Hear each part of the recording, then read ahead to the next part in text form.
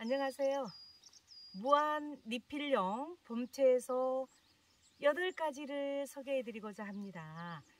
봄에 텃밭 한켠에 씨앗을 파종을 하거나 또는 모종을 구입을 해서 정식해 놓으시게 되면은 관리만 잘 하면은 평생 리필 가능한 몸에 좋은 여러 해살이 식물을 소개해 드리고자 합니다.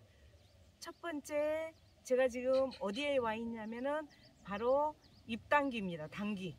당기 쌈채소로 많이 이용하거든요. 그래서 이렇게 상치쌈 하나 하는데 거기다가 당기잎 하나 딱 넣으면은 그 향이 너무 좋고 몸에도 좋은데 바로 이러한 당기가 지금 봄이 되니까 리필을 해줍니다. 여기 보세요.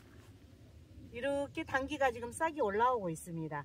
그리고 지난해에 당기가 이제 씨앗을 또 떨어뜨려 가지고 이렇게 씨앗이 또 떨어져서 싹이 지금 올라오고 있습니다. 는 계속해서 어, 나온 데서 또 나오고 나온 데서 또 이렇게 다 죽은 줄기는 이제 이렇게 하고 새순이 이렇게 올라옵니다.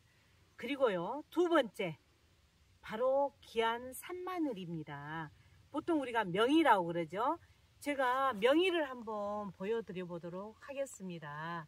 명이는 백합과 작물이거든요.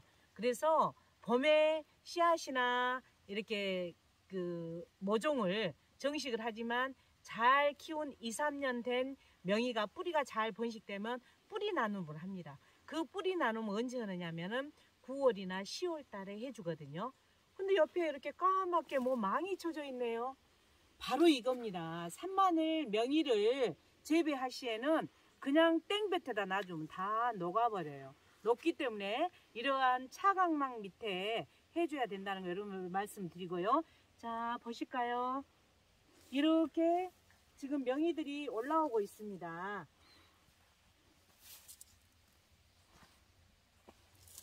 이거 보세요.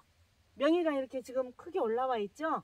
이렇게 지금 명이들이 퍼지고 있습니다.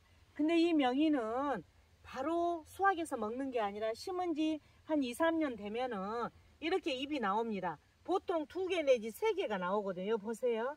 가깝게 한번. 명이 잎은 이렇게 세 개 정도가 나와요. 또 여기 안에서 나오고 있죠. 그래서 이렇게 나오면 이걸 다 뜯어 먹는 게 아니라 이렇게 두세 개 있으면은 가장 큰 이 잎을 하나 딱 수확해서 채취하고 나머지 두 개는 그대로 또 해를 넘기게끔 해줘야 됩니다. 그래서 이렇게 명이를 어, 수확하는 요령이라든지 또는 이렇게 재배할 때 반드시 차각막을 해서 이 명이는 재배를 해야 됩니다. 그래서 여기 보면 지금 계속 싹이 올라오고 있어요. 그래서 해마다 봄 되면은 명이 산나물을 조금씩 몇 개씩 따서 지금 계속 먹고 있습니다. 먹고 있고요. 자, 세 번째는 뭐냐면은 어, 보통 갯기름 나물이라고도 하는데 방풍, 어, 중풍 예방이 좋다고 그죠? 이것 또한 심어 놓게 되면은 계속 봄만 되면은 순이 올라오기 때문에 나물로도 먹고 또 장아찌로도 먹고 그렇게 활용을 합니다. 다음 네 번째는 뭐냐면은 달래입니다. 알리신 성분이 굉장히 예, 풍부합니다. 그러니까 마늘 양파에 들어있는 거 그죠? 그래서 이 달래에도 많이 들어있기 때문에 봄철에 온기 회복에 굉장히 좋습니다. 그리고 이제 또 부추가 있겠습니다. 부추는 우리가 정구지, 솔 이름이 여러 가지예요. 또 올담초 그 정도 그냥 그 온기 회복에 좋다고 해가지고 올담초라고도 하거든요. 그래서 이 부추에는 활성산소를 해독시켜주는 그러한 작용을 하고 혈액순환에 좋은 그러한 것이 바로 부추가 되겠습니다. 그 다음에 이제 여섯 번째 뭐냐 방아라고도 하고 방해라고도 하고 어, 배초 향입니다. 이 배초 향은 토종 허브예요. 토종 허브인데 보통 우리가 이 배초 향을 말려서 한약재로 쓰게 되면 그 이름이 뭐냐면 곽향이라고 그럽니다.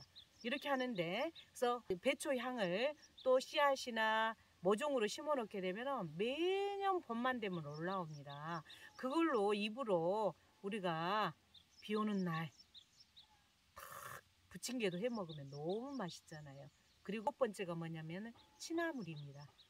치나물을 산 옮겨 심어도 좋고 또 치를 씨앗을 봄에 파종해도 좋고요. 받아놨다가 그렇게 되면 거기서 또 씨가 떨어서 나오고 나오고 풀 관리만 잘 해주면 계속 리필해서 먹을 수가 있습니다. 근데 이 치나물은 뭐에 더군다나 좋냐면은 염분, 체내에 있는 염분을 배출하는데 아주 최고라고 합니다. 그래서 혈압이 높으신 분이라든지 이런 분들한테는 치나물이 좋겠죠.